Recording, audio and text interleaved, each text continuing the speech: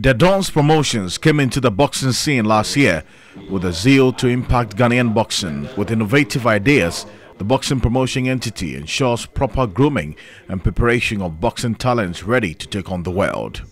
Chief Executive Officer of Dons Promotion, Michael Nee Aboyanan, has been explaining the rationale for the innovations. What it also means is that you will not have to run to any destination to acquire a ticket. No. You can get your ticket through mobile money and through your Visa cards. The media briefing was to announce the second Dons promotion bout slated for a later date this year. A promotion contract was also signed between Ghanaian based Nigerian boxer Felix Williams and the Dons Promotions.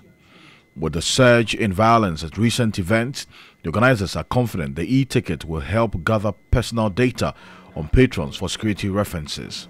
The upcoming bout will see Obodai Sai defending his WBO Africa middleweight title, whilst new signee Felix Williams will take on a Filipino for the WBA Intercontinental title.